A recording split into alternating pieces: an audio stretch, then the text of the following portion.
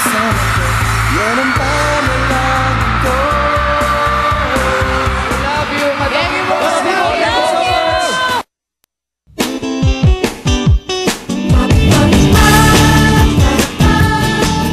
Love you Tuloy-tuloy pa rin ang ating showtime saya dito sa It's Showtime Online. At para sa makakasama natin sa ating first episode, walang iba kundi ang at kabog na na kanina pa ako pinagtatawa na dahil natatensyon ako. Maaari.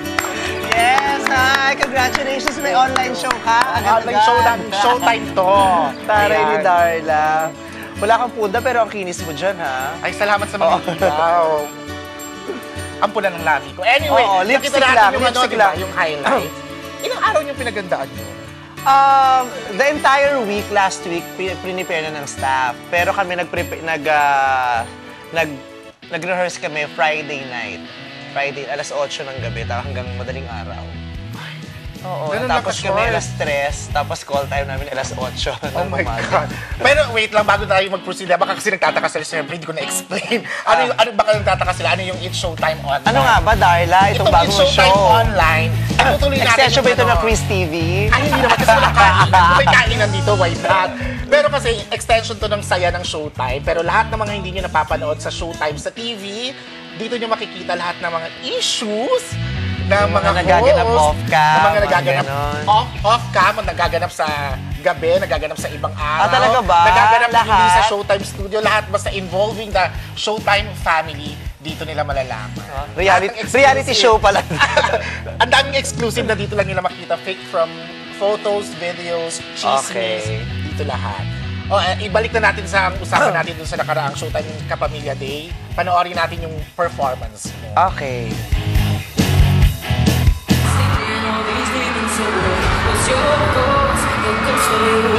Ito,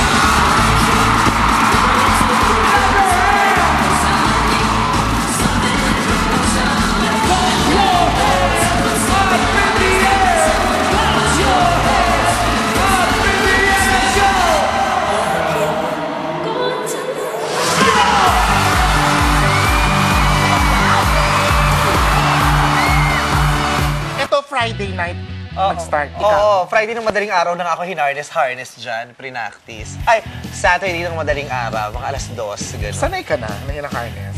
Sanay naman na kasi lagi na rin ako nag-harness kahit yung mga ibang concerts ko Oo, sa. Araneta, pero masakit pa rin sa katawan. Pero yun lang yun, ito lang yun, tapos ikaw na nagbabalance. Oo. Kasi kung hindi ka makakabalance, Tsaka nakakatakot yung, yung trusses kasi gumagalaw din Oo. siya. Kaya scary. Masakit sa katawan, sakit sa balakang. hindi ka naman nagkapasa. Hindi naman, hindi naman. Masakit lang sa mga muscle-muscle. Kasi kala ko, i-harness lang, tapos tutungtong lang. Hindi ko alam na may mga flip-flip na magaganap na gano'n. Pero syempre kasi alam naman nila dahil vice ganda ka, lahat ng performance mo inaabangan. Pressured ka para sa magpasikat. Oo, kasi, Nagbunutan na. Kasi tsaka contest yun eh. Tsaka hindi ako na nanalo. kayo. Ang pinakabongga ko ng panalo dyan, first runner-up. Oo, tapos last year nga, hindi ako nanalo at all. Tapos this year, This year, ang kakampi ko si Jukes and Teddy, malakas naman. Kaya lang pressure din kasi lagi silang nanalo, nananalo taon-taon. Kaya pag di sila nanalo ngayon, ibig sabihin, jinky oh ako. my, wag, wag mo sabihin yan, malay mo, this is the year. Kaya sabi ko, galingan na kayo? ah. Wala pa, wala pa. Ay, so ikaw wala ka pang plano kung sino man maging group, Hindi, nagbunutan na kami nung isang araw, tapos pinalabas namin kanina, ang nabunot ko nga si Jukes and Teddy, tapos ano kami, third day kami magko-perform. gosh. Tapos, kanya-kanya munang research, tapos magbabatuhan kami ng ano. Pag ganyan ba, nagkakaalaman kayo kung anong gagawin ng ibang team? Hindi. Kasi dahil Kublihan. contest, talagang karirang Parang that's contest. entertainment to. nga. Oo. Oo, kublihan talaga. Eh kasi da- talagang inaabangan yan every year. Tapos, pag ah, ganun talaga, hindi nagsasabihan, pero ano pa rin, ah, dumarating kami sa point, ako dyan, nag-start na, may nag-perform na, tapos may nahihirapan, may nangangarap. Yung tensyonado kanya-kanyang tulong na rin. Oo, Oo, nga hindi na rin nagdadamutan. Sa simula lang, kunyari, nagdadamutan, pero eventually, nagtutulungan din. Pero ito ba ay, itong isusunod nating papakita, ito ba ay pinagtulungan nyo, pinag-usapan nyo, or biglaan lang din? Panoorin natin. Nagulat ako kinilig na di ko maintindihan na naging lalaki ako pagkatapos. Hindi kasi hindi ko naman alam kung gagawin niya ba talaga or hindi. Kasi madalas nga kami magbiroan about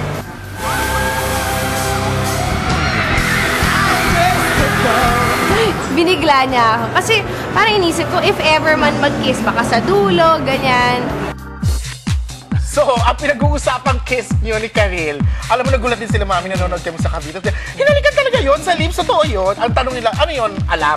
Kasi nag, sinabi ko na sa kanya sa, sa dressing room pa lang, anong gagawin natin? Sabi, eh, blinak na ni Direk, sabi ko ganyan, tapos kikis daw kita. Ganyan. Pero, kasi lagi naman kami nagagaling Ah. dito, lalo na pag sini mo to, may mga visceral moments mga harutan kami. talaga. Oo. Eh, since first time nag-meet ni Visceral at saka ni Kay last Saturday, kasi nung nilaunch yung Visceral na alter ego ko sa Showtime, wala siya. Never niya pang napapanood, kaya first time. Eh, yung kanta ay, ano, I Kissed a Girl. di ba? Ayun. Kinis ko siya, tapos pagpunta namin sa dressing room, sabi kaming sumuka. Oo. So, alam niya ikikiss, hindi niya lang alam kung saang part Kung ng saan, production. oo. Kaya nabigla siya. Kasi hindi ko rin naman alam kung kailan siya ikikiss. Pero talaga sa'yo, napakahusay mong actor. For the fans, for the fans. Kaya alam naman nila siya, Diyos ko baklang bakla ako, no? Oo naman. Parang di sa hinuha ko, hindi ko nakitang kikis ako ng babae. Pero for the fans, sabi nga ni Ma'am Charo, ang pinaka-importante dapat kasiyahan ng fans. Oo. Kaya, as in special day yon for the fans, Oo. binigay na rin naman namin. Kahit naman si Yael, di ba? Kasi di ba may mga fans. Pagkatapos na- yung si, si Yael, punta sa dressing room, ganyan. Tapos sabi, sabi na kay Yael, Yael, dalhin mo ako sa ospital. Sabi, Sabi- Yael, sabi ko kay Yael, pero bakit? Ikaw pa talaga nagsabi Parang, ka. na, ang sama na ng pakiramdam ko, papunta na to sa sakit. Tapos sabi ni Karil, ako din nagkasakit na. Pagtingin ko kay Karil, nakapanglalaki na siya kasi mag, ah, ano na siya, Oo. mag-glock 9. Sabi niya, Yes. ito epekto mo, naging lalaki ako. Tapos ako nakagown na ako, pagkatapos naging babae naman ako. Tawa lang ng tawa si Yael. O, anong gusto mo daw sabihin sa mga fans niyo ni Kaya? Ayun, gusto lang naman namin kayo mapasaya since special yung araw na yon, di ba? Special yung araw na yon. Kailangan special din yung ibigay namin, di ba? Hindi ako humahalik ng babae hanggat sa makakaya kong pigilin, hindi. Pero para sa inyo, kiss para sa mga Vicewell babies. It's for the Vicewell babies. Sa bashers, pinapansin mo pa? Pag pinansin mo, hindi lalong naaliw, Oo nga, di ba? pero- No.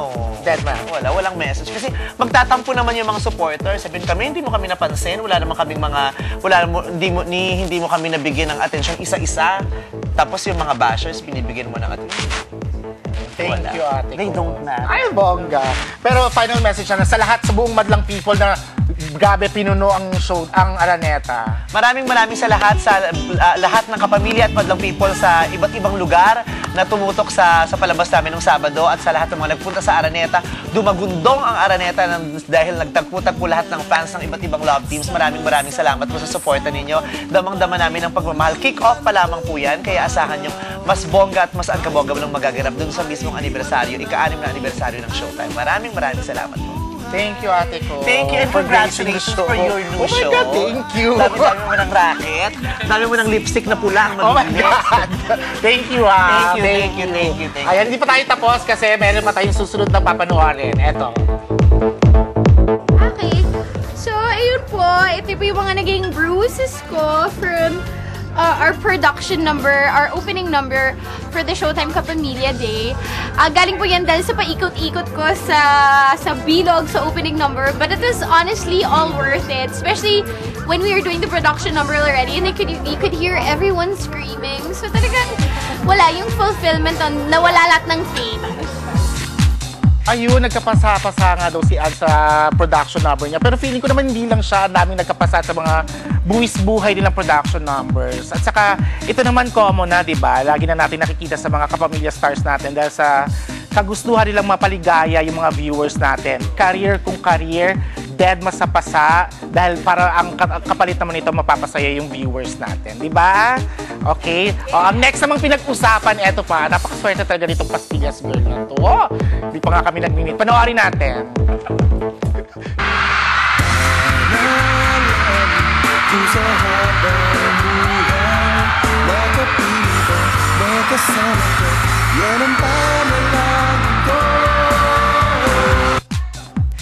Grabe ka, Miss Pastillas Girl. Hindi pa tayo nag-minute. Tweet lang ako ng tweet tungkol sa'yo. Pati ba naman ang probinsyano na ipapalabas na mamayang gabi after TV Patrol? Nakuha mo na, my God. Ako nga, hindi naman forever hinahanap ko. eh. Ikaw na talaga. Um, ngayon naman, a- asa naman ang mga tweets natin, ang mga sinasabi ng mga kapamilya natin. Tungkol, si Pastillas Girl dapat kasama natin ngayon, kaya lang nakipag-date.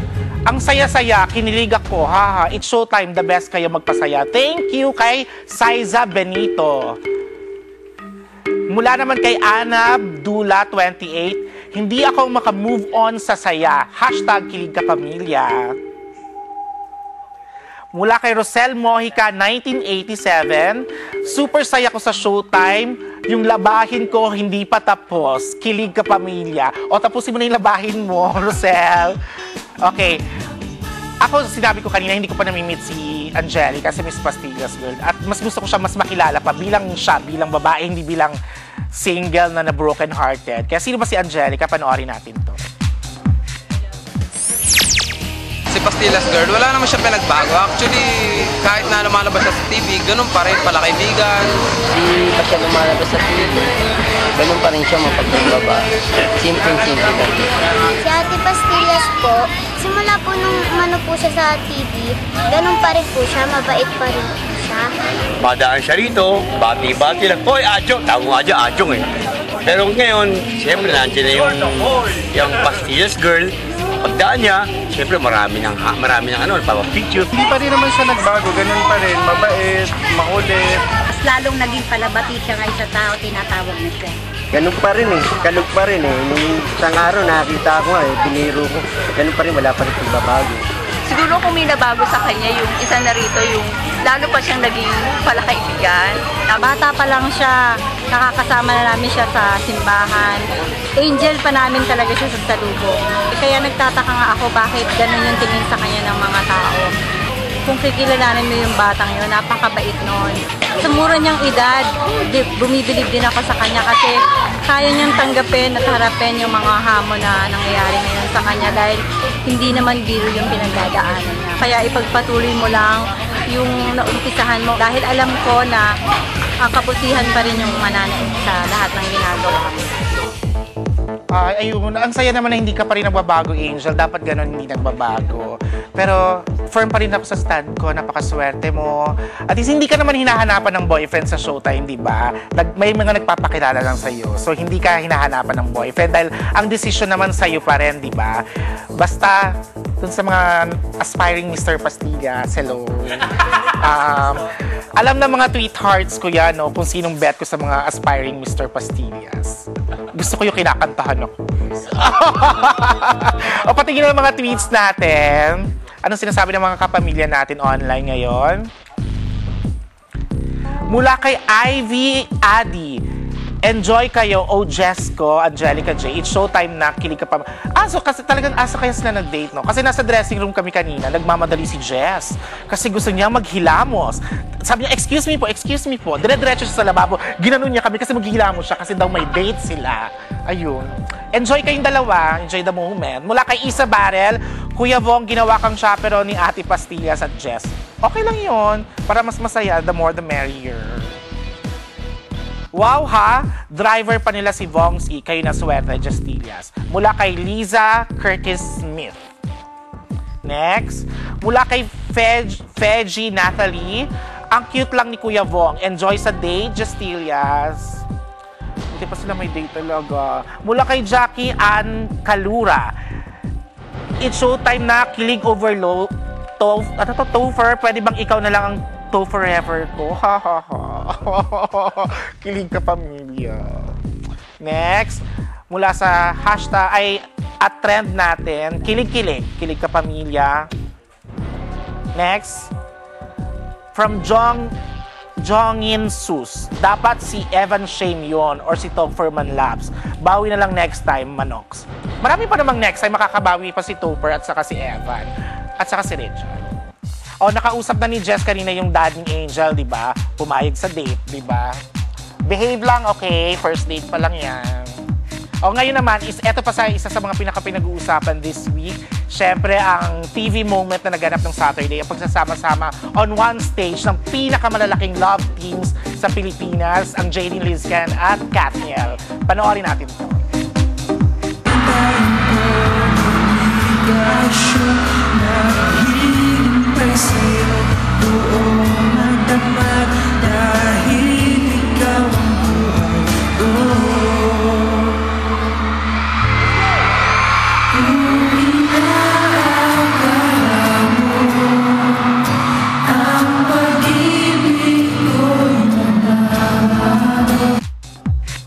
God! Grabe, kilig na kilig ako sa bahay, pati mamit daddy ko at saka kapatid ko nung pinapanood to. Kasi very rare na mangyari to kahit sa ASAP, hindi pa na nangyari nagsama yung tatlong love teams na yun. At I'm sure ang daming nagtatanong kung sino ba ang pinakamalakas ang palakpakan sa Araneta. Ang sagot, lahat po sila dahil lahat po ng nandun ay aswan bilang mga kapamilya, di ba? At ang saya-saya dahil nawala, nawala yung mga war-war ng mga fans, di ba? Lahat nagkaisa para sa ah, Showtime Kapamilya Day, di ba? Dapat ganun lang naman talaga. Ako mahal ko ang JD, mahal ko ang Lizzie, mahal ko ang Katniel. Alam na alam nyo yan, di ba? May kanya-kanya na talagang moments. Okay, magbasa ulit tayo ng mga tweets from our kapamilyas. Oh, Ate Jinky! They are the hottest young stars. Naiyak ako sa prod na to. Yes, one love for Liz Ken, Jadine, and Katniels. Nakaka-proud. From Ate Jinky Fabion. Ito naman from Christine Pangan. United fandoms are, re- are always the best. Katniel, Liz Ken, and Jadine. Push Awards, Katniels. The Kiss made him more versatile as an actor. Parang Neil Patrick Harris or Matt... Sino tong nag-kiss na to? Si, si, Vi- kay Vice ba ito tinutukoy? Oo, si Vice na naman. Hindi naman nag-kiss yung mga love teams natin. O next. Mula kay Kapamilya underscore fanboy. After all the rivalry at competition, we are still Filipinos, fellow Filipino living in one country. Spread peace, world peace. Thank you. Showtime Kapamilya Day. Next. Mula kay Mami Min. Oh, Mami ni Catherine. Yeah, we made history for the nth time. Thank you, madlang people. Ay, nakakatouch naman talaga yung mga fans, no? Sana makausap din natin yun one of these days. Yung mga fans na gumawa ng We Live in a Katni- Katniel World. Grabe yung effort nyo. Sobra. I'm still in awe from yesterday's event in Araneta. My hands are trembling with this one. Mula kay Car Karil Karilaay. Ayun. Kathniel siya kasi si Catherine yung picture. Mula naman kay Rod Magaru, Kathniel, Jadine, Kimsey, and Liz, Liz Ken earned more than 3 billion box office receipts combined. That's real trending. Yes! Nakaka-proud naman talaga yung mga love teams ng kapamilya natin. May next pa, from Pastillas Ladies. Pangako sa'yo, may forevermore ka, Miss Pastillas, and you will be on the wings of love, Mr. Pastillas. Last two, after the Showtime Kapamilya Day, I love Liz Ken, Jadine, and now Katniel too. I hope this unity will last na. So tired of fandom wars. Hindi naman talaga kasi nag-aaway yung mga love teams natin. So sayang yung mga fans. Huwag na tayo mag-away-away. Support natin lahat. Next. Mula kay mula kay Cat devotees, we indeed we indeed like li, ano, live in a Katniel world. All for Cat and Daniel of course. Ayun. Maraming maraming salamat po sa lahat ng mga kapamilya natin na laging tumututok sa mga palabas ng ABS-CBN, lalo na po sa It's Showtime. So magkita-kita po tayo ulit tomorrow dahil bukas marami pa kaming exclusive na chika na ibibigay sa inyo. At saka syempre follow nyo lang ako sa Twitter and Instagram at Darla Solar. Bukas mas maraming exclusive photos, exclusive chismis, at sana ma-meet ko na si Miss Pastillas. Mag one-on-one tayo bukas, Angelica. Siyempre, follow nyo rin pala ang It's Showtime na sa Twitter and Instagram. Okay, see you tomorrow dito sa It's Showtime Online. Thank you!